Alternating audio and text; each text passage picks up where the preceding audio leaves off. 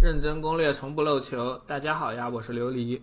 那么这期视频呢，我会给各位带来暗黑四公测版中二十八个莉莉丝祭坛或者雕像的位置啊。那么这些雕像是藏在破碎群峰的各个角落的，找到它们呢，与之互动就能得到属性点了。而由于公测版只有二十五级啊，这些属性点的收益还是很高的。而只分享位置的话呢，很多朋友可能会找不到，因为他们有一部分确实藏得很阴间。所以下面琉璃还会从头带你跑一遍所有的祭坛位置。当然了，你最好能先解锁所有的传送点，这样和琉璃一起跑起来的话会更流畅一些。当然，现在想进游戏还是很麻烦的，动不动就要排队半天。还好我有悠悠加速器。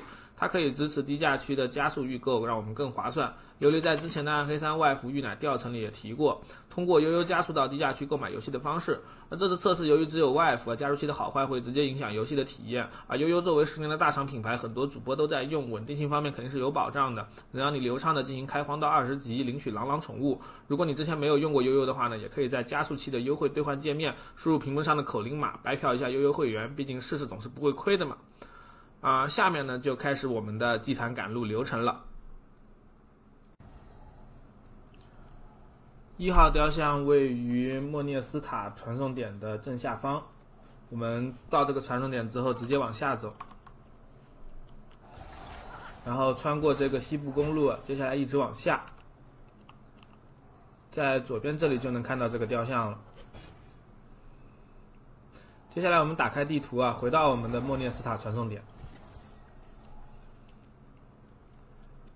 接着我们打开地图，前往左边的这个二号莉莉丝雕像，这个就需要我们前往左下角的这个门了。从这边走出来还是西部公路，接着维持往左移动，走过这个小道，接着继续贴墙往左走。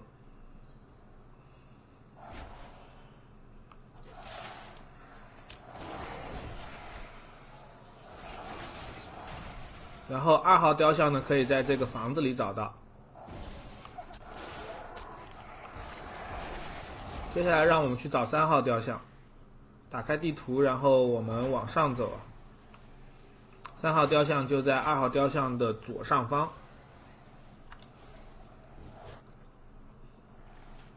穿过这片湖地，然后我们继续在西部公路这张地图往上走。啊，这边稍微卡了一下。接下来继续往左走，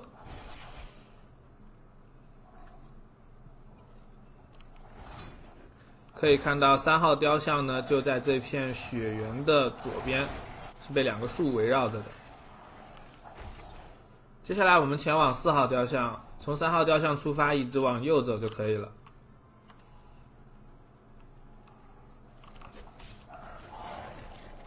这边就全程还是在西部公路这块区域往右走。这边会穿过一块比较空旷的地方，中间碰到了一个世界事件，我们不管它，然后继续向右上方移动。可以看到这边有一个回血的圣坛啊，雕像就在这个圣坛的左边，它躲在一个树的后面，非常的阴险。接下来我们去前往第五个雕像，它在第四个雕像的右边。我们从第四个雕像出发，然后一直往右贴着墙走就好了。五号雕像是位于要塞的内部的，所以我们接下来是要继续沿着西部大道走到这个要塞里面去。这边有个通道，我们直接从这里爬进去。啊，接下来靠右从这个梯子这里上楼。上楼之后呢，也是一路向右走，稍微清一下怪物就能看到五号雕像了。它也是位于这些杂物的中间啊，藏得非常的隐蔽。接下来我们去六号雕像这里，我们从五号雕像这边出发，沿着原路返回，爬下楼梯。接下来呢，我们往右走啊，走出这个城堡。我们从墓地到了庭院啊，接下来继续往前，我们从这个嗯梯子上爬下去。好，我们现在到科德拉根了，已经到要塞的外面了。接下来呢，往右走过这个要塞的桥，就恶风峭壁这一块啊。然后从这边呢，我们先一直往地图的右下这么一直直走。哎，我漏了个地精吗？嗯，没事没事。啊，接下来我们继续沿着这样路走啊，这边有一个小的过道，我们穿过过这个过道，然后呢，从这个温泉的旁边吧，向左可以看到这边有一个凹起来的地方，我们这边走下去呢，就能看到这个莉莉丝雕像了。接下来我们是到第七号雕像，七号雕像呢就在六号雕像的右边，我们一路沿着这个大道往直走就可以看到了，就一路往右直走啊。好，我们现在到了深白之地，然后接下来就一路往右就行了。这个七号雕像呢，就在这个马车的后面。如果你没有看到它的话，可能是地图没有刷新啊，重新刷一下就好了。接下来是八号雕像，它的位置呢在七号雕像的正下方。我们还是从七号雕像这里往回走，走到这个凯尔西克高原这边，然后接下来就是一路往下就好了，也是差不多沿着这个大路直走的。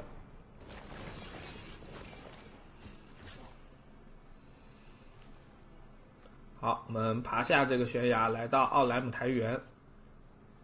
啊，接下来这边这个雕像需要稍微绕一下。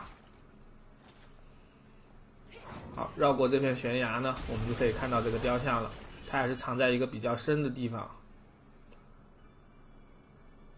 接下来让我们找九号雕像，它在八号雕像的右下方。我们从八号雕像这边出发，然后呢，先往右边直走。经过我们刚刚的这片河流，然后继续往右，就一路向右走。现在我们到了收容所地块，然后也不用管这些怪物，直接往右一直走就行了。然后我们穿过这个地方，再继续回到我们的奥莱姆台原，然后继续往右，沿着这个小道一直走，然后就基本就是贴着墙，然后来到这个。嗯，应该也是凹出来的这一个地方，我们走过来就能看到我们的这个雕像了。接下去十号雕像，它在我们的九号雕像的正下方，所以我们呢也从九号雕像出发，然后往下走就行了。我又漏了只地精。嗯，总之我们继续往下走啊，就这边录视频也就不打怪了。然后穿过这个科洛瓦湖啊，来到这个站立荒野。然后一直也就是贴着我们的地图边缘移动，继续直线往下就好了。最后在站立荒野的这边呢，我们可以看到很多的路啊，而这些路的旁边就是我们这个十一十号雕像，然后十一号雕像呢也在十号雕像的正下方，所以我们还是先从右边贴着地图模块这边走下来，然后从站立荒野这边呢来到泽莱尼低地，我们需要往下爬。爬到悬崖下面来，接下来往左走，然后往上看，我们的十一号雕像呢就在这个树林里面。接下来让我们找十二号雕像，它位于十一号雕像的右边。我们先回到刚才的悬崖，爬上去，然后就是一路向着右边移动就好了。就这边需要先贴着这个悬崖走出来嘛，然后再向着右边移动。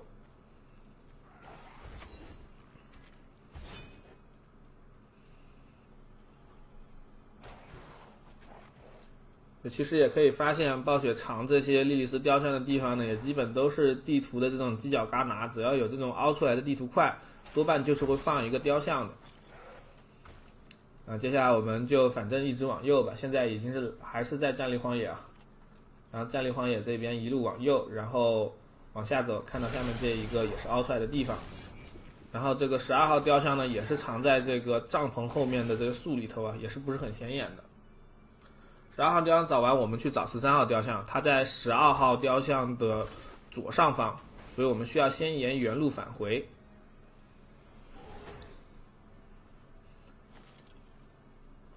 然后从站立荒野这边呢往上走，走过这一个小道，接下来进入这边马尔诺克，它也是在一个居民的房子里的。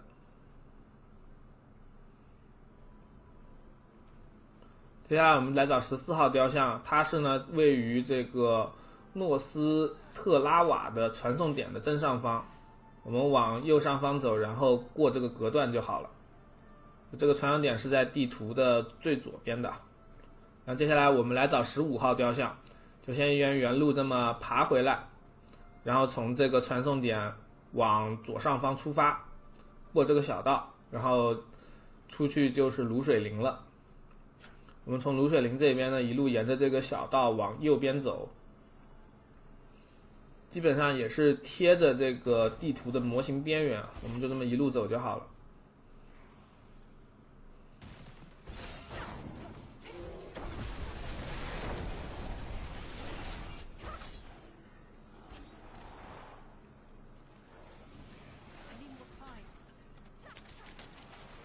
最后呢，我们也是能在这一块石头旁边，就也是两棵树旁边找到这个雕像。这个雕像非常不明显啊，大家注意我现在鼠标的位置。好，接下来呢，我们传到涅维斯克这个传送点。啊，到了这个传送点之后呢，我们往地图的右边走，可以看到我们的十六号雕像。当然，这个雕像如果你有正常的打主线的话，它应该是你遇见的第一个莉莉丝雕像。好，接下来我们原路返回啊，前往第十七号雕像，还是刚才的传送点，但这一次呢，我们就要往左边出发了，前往这个冰豪针叶林。那十七号雕像呢，就藏在这个林子里头啊，就一个不显眼的一个树林中。接下来我们去找第十八号雕像，我们从十七号雕像出发，然后呢，往这个左上走。就过这个冰豪针叶林的这一个木桥啊，然后到这个卤水林这边。就十八号雕像也是藏在这两棵树里头的，长得也不是特别的明显吧。我旁边有一个旅行者的木桶，你如果点木桶的话就能看到它了。那接下来我们回到基奥瓦沙，从这个地方重新出发。接下来先来找我们的第十九号雕像，我们从基奥瓦沙呢这边呃。嗯，应该算是右下角的传送点出发吧。从这个地方我们离开主城，就贴在这边一直走啊，过这个应该也算是一个桥梁吧，木桥。然后接下来往左下贴着这个地图的边沿移动。当然这边主城出来切地图模型的总是会卡一下的。然后跳过这个悬崖，接下来呢一直往上走。我们的十九号雕像就在这个悬崖的深处，就东南山路这个地方，它也是比较不显眼的。大家注意我现在鼠标的这个位置。好，接下来是第二十号的这个伊丽丝祭坛，我们回到基奥瓦沙，然后点击地图呢，出一下线，接下来继续往左下的这个传送点出门啊。这是我们走的是正门。那你可以从十九号一直走到这边来，那边可能会近一点。不过我这边是先回来了。我们反正从基奥瓦沙的这个门房这边一路走出来，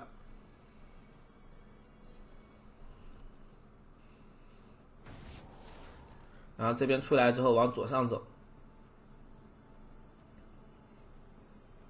转走之后呢，过这一个小道吧，然后进这个劫掠者他们的老窝，然后接下来往下一路往下。下面这边有一个随机事件啊，不过我们不管，我们走到深处的这个天赋路口这边，就可以看到这个二十号雕像了。接下来我们找二十一号雕像，我们从二十号雕像出发，它在二十号雕像的下面，所以我们这边也是从二十号雕像直接往下走的，就不不绕这个回头路了。这个地图的自动寻路功能可能有点蠢。那接下来我们就直接沿着这个过道吧，就一直走。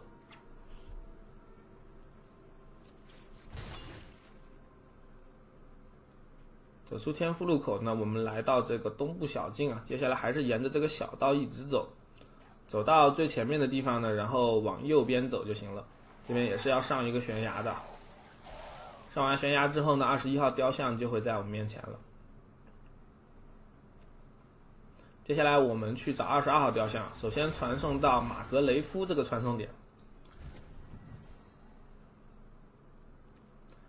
接下来我们直接从传送点往下走，这是我们的二十二号雕像。传送点往下走的话，从马格雷夫出来，我们就能找到它。这边我们先进入克罗尔森林，然后这边还是有路的，就直接沿着路走。到达这个转角，我们直接向右转啊。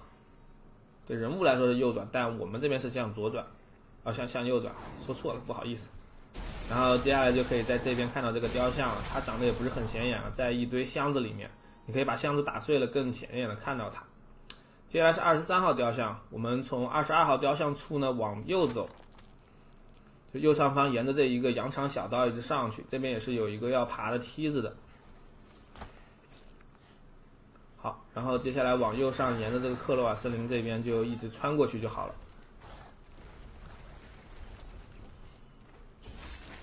这边呢，我们会进入西部隧道，然后隧道这边有一个可以爬的梯子，我们走到梯子这里爬上去。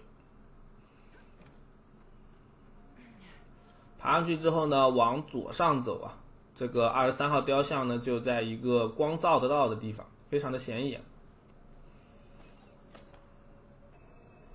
好，接下来我们传往耶雷呃斯纳这个传送点，然后来找我们的二十四号雕像。这个传送点到达之后呢，我们往地图的右下走，从右下这边出门，从耶内斯纳这边呢，我们走到泽奈离低地。然后还是保持我们往右走啊，这边我们要过一个河，然后我们的历史雕像呢就在河的最下面，这边。你可以看到这里还有一个箱子，有一个帐篷，这个雕像呢就在这个帐篷的后面。好，接下来找我们的二十五号雕像，我们从二十四号雕像出发往右上走，这边还是回回到我们的河岸，但这边的话，这次的话呢，我们就直接从右上过河了。啊，离开河岸之后，我们从多杰幽灵这边沿着这个小路一直往上走就行了。我们可以来到这个彩皮洛瓦湖啊，这个比较奇特的地名，里面有很多的这种食尸鬼。然后接下来一直往上往上，我们可以看到右上这边有一个回复生命的这个圣坛吧。然后我们的雕像呢就会在这个圣坛的后面，在这边两个草垛的中间啊，长得也是非常的不太明显的。好，接下来我们传往巨熊部族避难所这个传送点。在这个传送点呢，我们先往上走啊，找我们的二十六号雕像。就我们沿着这个巨熊部族部所这边的右上一路往上走，那这边可以到一个升天冰塔这个地方，然后接下来就一路往上就行了。